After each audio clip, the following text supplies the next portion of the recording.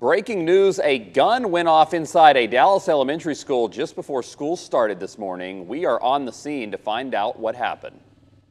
Welcome to Midday. I'm Chris Sadeghi. This all started shortly before 8 in the morning, sending police rushing to Carpenter Elementary School in Dallas. Our Suzanne Bruner is live there on the scene where she just spoke to police. Suzanne, what have we learned?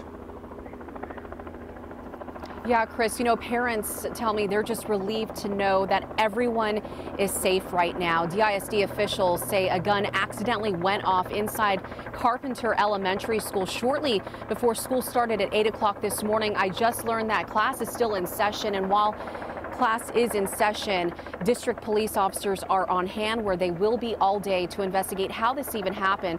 But soon after the incident, uh, we watched Brandy Fields pick up her daughter from school. She said 10 minutes after dropping her off, she received a call saying a gun went off in the cafeteria. I, I didn't know what to think, what to feel. Um, just came over immediately, and she's safe, so.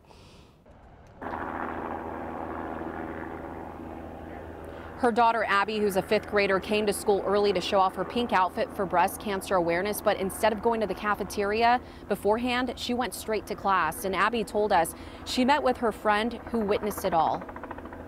My friend told me that she almost got shot today, and I was so confused.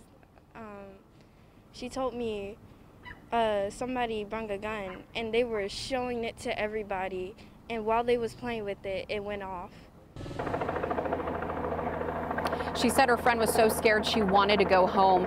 Dallas ISD police say at this time there is no reason to believe there is any threat to the campus. Now, before the start of the school year, DISD, along with other districts, made updates to safety and security. DISD now requires 6th through 12th grade students in the district to have clear and mesh backpacks, so that does not apply to students here at Carpenter Elementary or other elementary schools. And today's incident is leaving parents like Brandy questioning how did this gun end up in school and what's it going to take to keep their kids safe, Chris. Continue to follow that story.